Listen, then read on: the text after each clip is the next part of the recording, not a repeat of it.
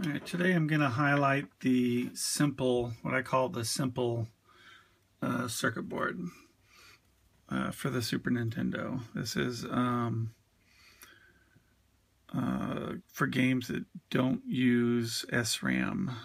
So if your game requires a battery or any kind of save data, then this is not the one you want to use. So uh, this circuit board has um, couple of different features. So, so if you're going to use any of these ROM sizes, uh, the 32 megabit, 16 megabit, 8 megabit, that are 42 pin, say 27C800 is a 40, uh, it's either 40 or 42 pin device. Um, but almost everybody uses 160 or 322. So if so for games that don't save to use this board, um, you would uh, check your appropriate ROM size. So let me see if I can zoom in on that here. So you got your ROM size selection.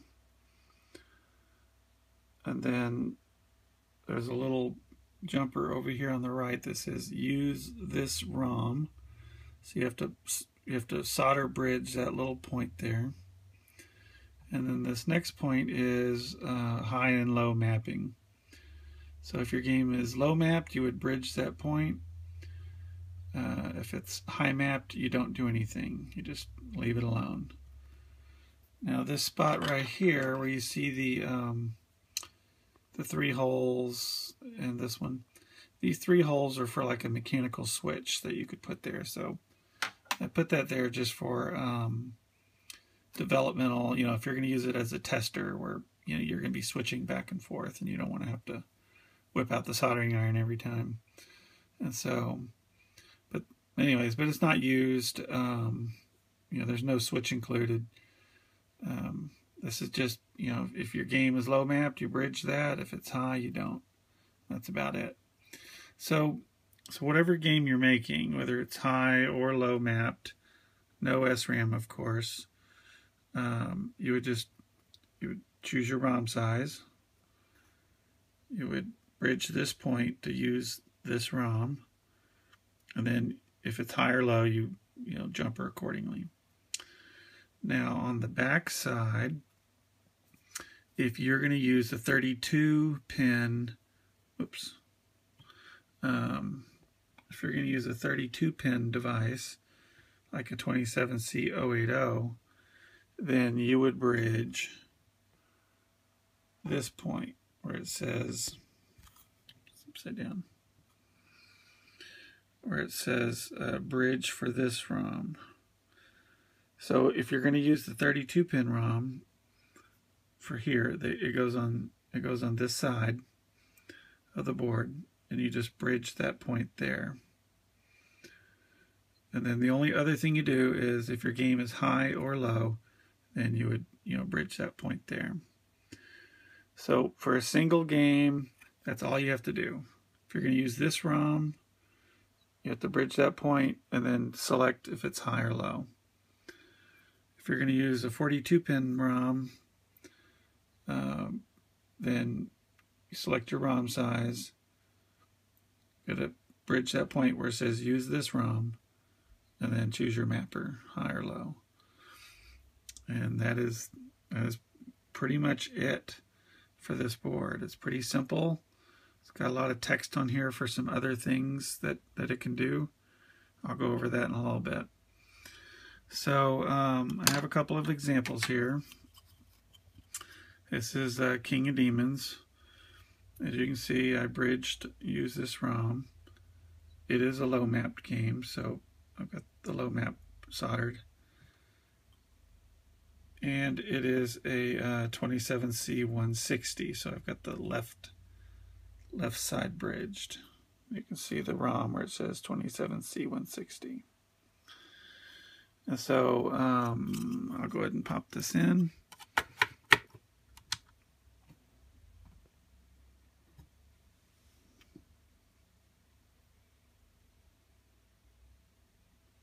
This one takes longer to start than others, so and that is normal for this game.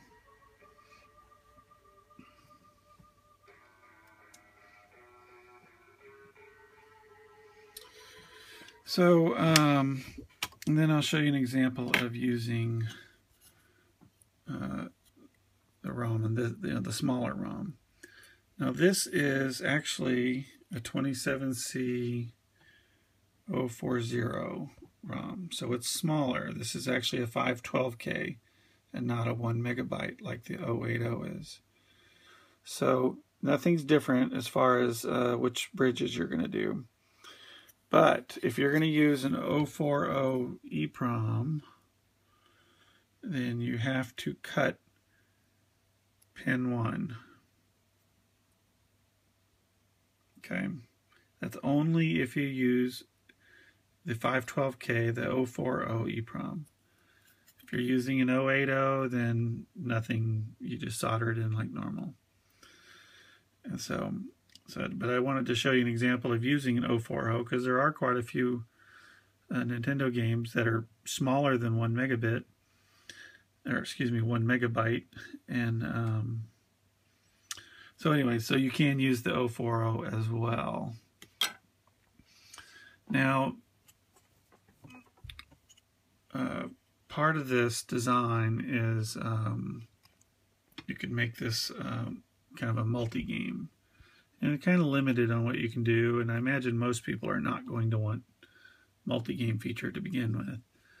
But um, but it'll I go over this just so it explain what what some of this text is for.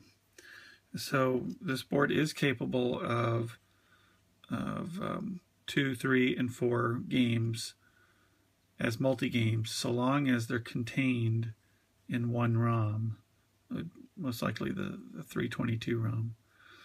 But um, so this is a microcontroller, and then this these little points here, A and B, those select which functions that the microcontroller is going to do. So if right here where it says uh, if you do bridge just A, then it's two games, you know, into a 27.3 2022. Uh, B is four games, so that'd be four one megabit game or one megabyte games. Um, and then A plus B is if you're using a 27C160 for a two game multi game. So that'd be you know two times one megabyte. And then the last one, if you don't bridge any of them, then um, it'll do three games in one. Uh, one megabyte, one megabyte, and then a two megabyte in size. And then this little chart here tells you how the mappings go. So, um, I mean, most of the small games are low mapped anyways, but there's a few that are high mapped. And so uh, we're just so if you have a, a four game multi game and you need one of your games is low mapped and then the other three are high mapped, then you would select, you know, jumper number one. Uh, if they're all low mapped, then you just go up here and just click all low. Um, and so on. So if you have a two game multi-game, you know, the first game could be low or it could be high or, or high low, etc. So that that's just kind of how this chart works. And um, again, it's I really don't expect the multi-game part of this board to be that attractive to a lot of people, but but you know, it does help explain what all that's for. And so so anyhow, um, so this is, um, I think this one is two multi-games, so I'll just show you real quick. They're reset based, so you have to hold the reset button.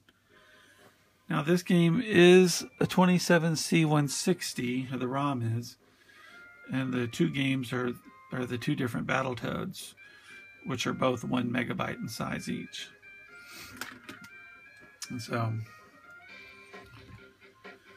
So this is Battletoads, and then if I hold the reset button for one, two, three seconds, then it switches to the other game.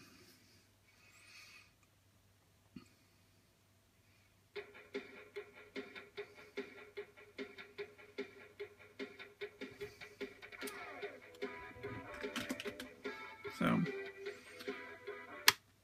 so in a nutshell, that's that's what the microcontroller does. Without the microcontroller, then um, it's just a single game, and you know it's.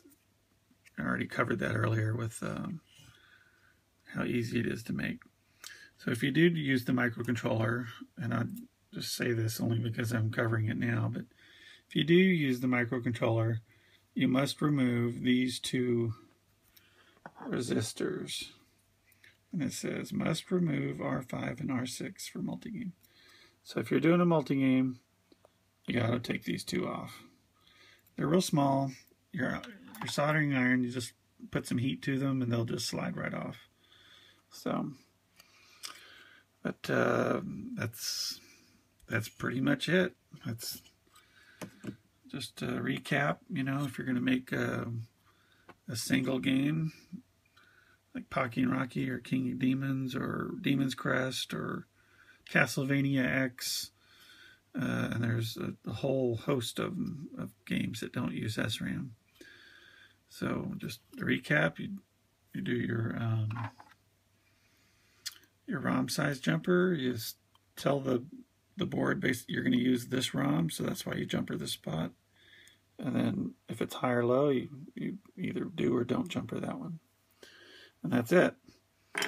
And if you use, if you're going to make a game like Wild Guns or you know one that's one megabyte or smaller, like um, Battletoads and one of the Teenage Turtle games, you know you can you can use a 27C080 and put it here and do the jumper where it, so it'll tell the board to to use this ROM, and that's it. You're done.